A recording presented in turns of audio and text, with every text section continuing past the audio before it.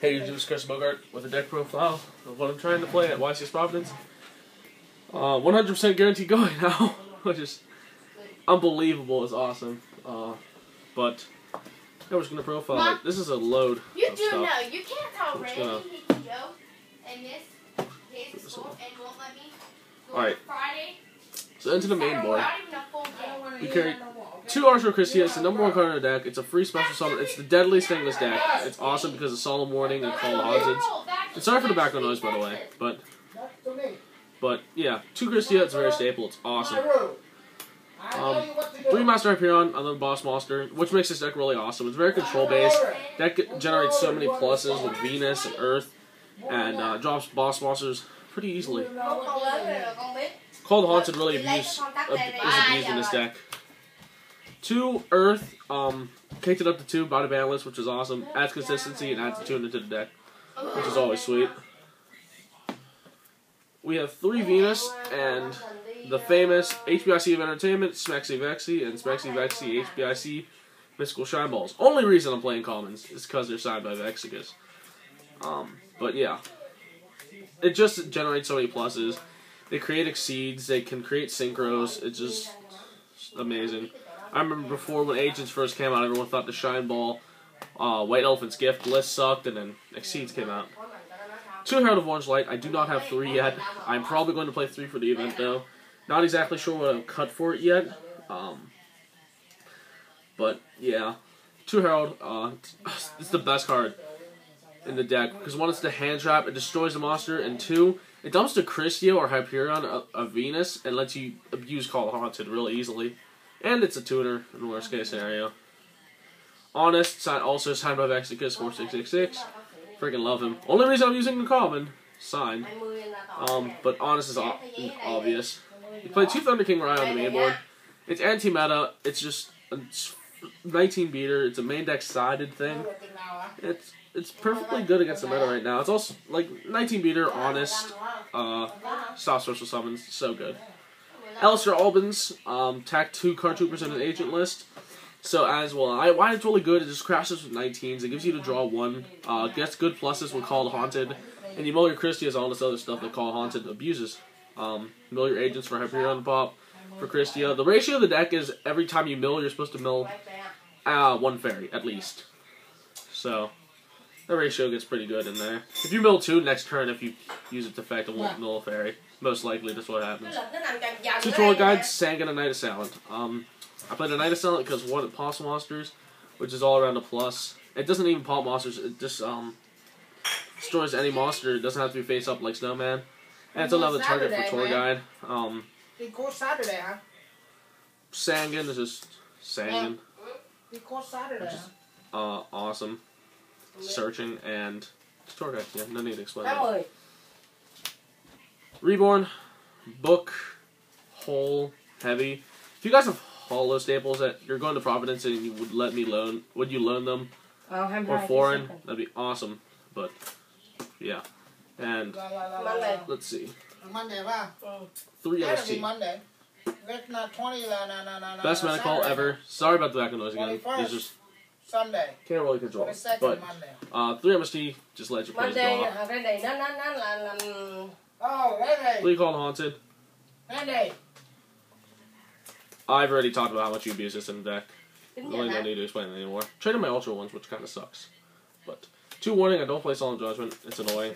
I just it's a one for one that pays half your life points, and in this current format, with all the explosive and OTK decks, you pay half your life points early game, which you pretty much are forced to do, and uh, it could cost you in an OTK format like this. Geargias, Kar uh, Machina Geargia, windups, and whatnot. Two bottomless grapple, uh, good against everything. Stable trap, really. One tech compulsory. This is probably what I'll cut for the third herald, but you know. And Starlight Road, signed by Alex Van Sant. Oh, I forgot to mention the warnings are signed by Van Sant as well. Um, it's to give me luck if I open double warning and Starlight. Pretty much got game, but yeah, that's the main deck. Continuing with the deck, we have the Gold token, which I don't even play Gores. Antidextra, Leviair, Acid Golem, Leviathan, Temp Tempo, Zenmaines. I couldn't really think of what three to cut uh, at last second, so I cut the Magical Android instead to fit in the last rank three. Uh, rank threes are pretty powerful. You don't go that often in this deck, but when you do, you have the all the options really loads of variety. I mean, you also do play the Torghast Sangan, so these get into pretty quick. You have Venus and other plays like that on those lines. Two Gotchi, I'd play a Daigusto Phoenix, but I don't have one because they're expensive. So, there's that. Colossal, Stardust, and Sky Dragon for low 8s. Ulti Colossal, Ultra Stardust, and I have a freaking Common or Super Scrap. Oh, so nutty. Black Rose, Gaia, Catastor, Armory, and Chimera Tech. The staples, one of each level, and uh, just for the just in case scenario. And this is for the side, really. Really?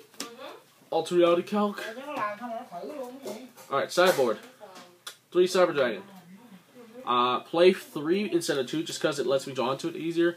Also, against a hero matchup, it's good to side just a bigger beater in general. It's a light. Uh, and you want to draw into it if you if you need it to win a matchup. I'd rather play System Downs, but I don't know. This is kind of versatile in its own its own right.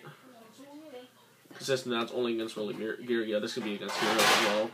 Anyways, 3D to Crow, same reasoning on number three instead of two. You just need to draw into it in certain ma- certain matchups, or you lose. And um, yeah, three really helps with that. Two electric wires. Alright, this card I misplayed last turn and lost to a Chaos Dragon and a Winamat, which Cordero, Mexican 4666, had to witness and put shame to me. But, um, yeah, it's so good against machines. It's good. It stops them in their tracks. It's good against Chaos Dragons. Uh, they they put, they put big meters on the field, so you can just take and swing. Uh, three Dust Tornado. It sides against everything back or heavy, and that's a lot of this format. But you don't want to main them, obviously. That's crazy.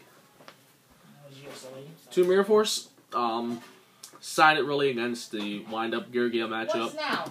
So stops at decays. And if you need an extra spell, like doing, Thompson? You protect- trap protection. down. what you're doing. And finally, two Needle Ceiling, the best there. People need to use freaking trap side ever. It wins against to everything. use the bathroom. Uh, besides Chaos Dragon, because they just go like. Pulsar Remedy, like douches. But, you know, whatever. Uh, still, it's a very good side against uh, explosive decks, which is pretty often right now. But that's the list. Um, if you play agents, put it in Player's Choice Orange. Uh, enough said. But yeah, um, I do plan to do well with this. I mean, I went, I pretty much, I should have won mat with it, but whatever. But win mats don't really say anything. Um, I wish I decided to play this at the regional. This is clo- very close to the list that top aided the Colum- or Cleveland regional. Uh, my friend topped. I just stole the list, and I was like, huzzah! But obviously, I don't have the money he has, so I don't have some things like Daigusto Phoenix, uh, some other stuff I don't even remember. But yeah, I'd like to thank you guys for watching, comment, subscribe, and uh, wish me luck at Washington's Providence and whatnot. I'll see you guys next video. Adios, YouTube.